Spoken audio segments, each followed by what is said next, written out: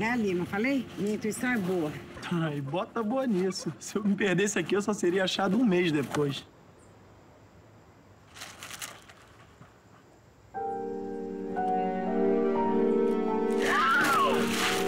O que foi, mãe? Ai, meu Deus! Calma, me fala o que aconteceu. Ali! O nome da Clara na lápide! Meu Deus do céu, eu não consigo olhar pra isso! Olha como eu fiquei gelada, pelo amor de Deus, eu tô zonza, eu tô me sentindo mal. Mãe, mas esse não é o nome dela. É o nome dela, sim, Salvador. É o nome dela antes dela ser adotada por mim. Ai, minha Nossa Senhora, eu não tô acreditando. Essa mulher é muito mais louca do que eu pensava. Calma, mãe. Que horror, Salvador. Meu Deus, calma, mãe. Calma, isso não vai te fazer bem. Não fica assim. Tira isso daí, Salvador. Tira, pelo amor de Deus. Não sei se eu posso fazer isso. Tira, Salvador, pelo amor de Deus. Eu não posso deixar o nome da minha filha aí, como se ela tivesse morrido. Pelo amor de Deus, tira. Calma, mãe, isso vai criar muita confusão. Depois eu venho aqui e tiro. Não, Salvador, eu não vou deixar isso aí de jeito nenhum. Que me prendam, que olhem, que façam o que quiserem. Não vou deixar o nome da minha filha. Eu não vou deixar o nome da minha filha aí como se ela tivesse morrido, Salvador.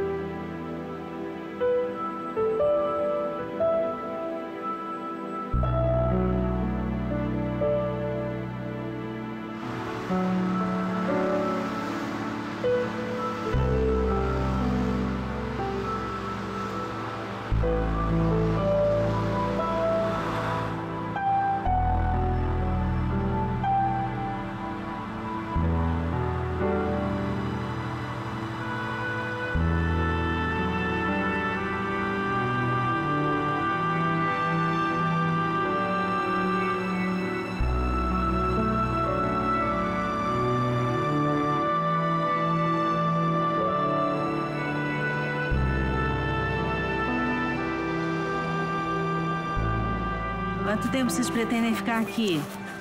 Ah, mãe, uma hora mais ou menos. Deixa ele aproveitar o dia de Natal. Quando ele ficar cansado, eu levo ele pra casa. Eu vou dar um pulo na Verônica e fico com o carro, tá? Quando vocês quiserem ir embora, você me liga que eu passo aqui pra pegar vocês. Ô, Mãe, não precisa se incomodar com isso, não. Qualquer coisa, se ele ficar cansado, a gente pega um táxi. Ué, mas me liga. De qualquer maneira, me liga. Bom. Tá? Tchau, Francisco. Olha lá, Clarinha! Onde?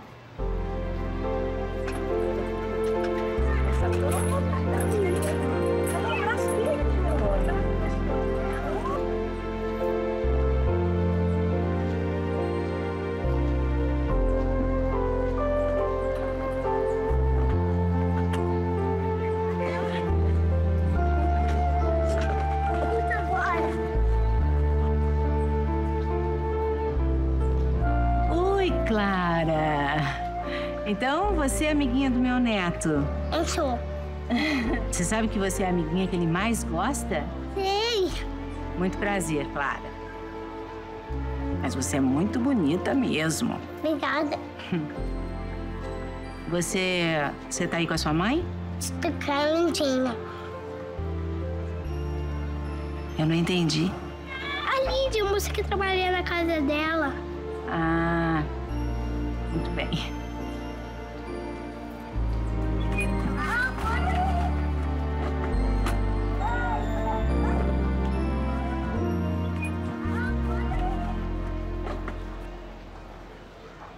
Eu já percebi que a senhora é uma pessoa objetiva, prática,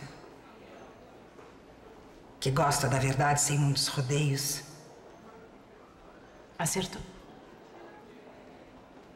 Quando as crianças nasceram, pediatra fez os exames de praxe e constatou pelas características implantação das orelhas, língua grossa,